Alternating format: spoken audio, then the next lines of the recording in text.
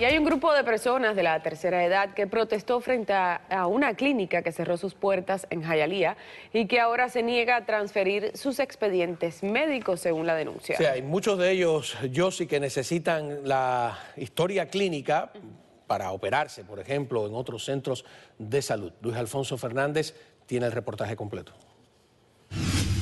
No, yo no le veo justificación ninguna. Están jugando con, el récord de las personas, están jugando con, todo. Yo creo que eso está incorrecto. Indignados están algunos pacientes de Jayalía, luego que la clínica que los atendía al parecer dejó de hacerlo por problemas financieros. Los afectados explican que están pasando un verdadero vía crucis.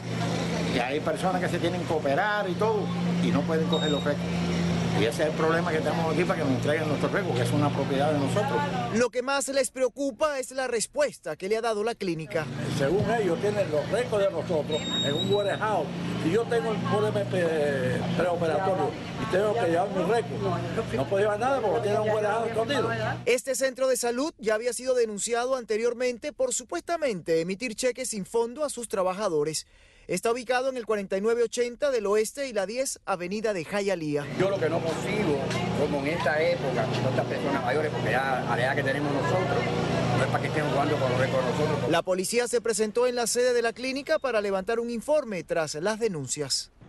Una vez más, el personal administrativo de la clínica se negó a dar declaraciones a la prensa. Se conoció que un grupo de ex trabajadores de este centro de salud prepara una demanda.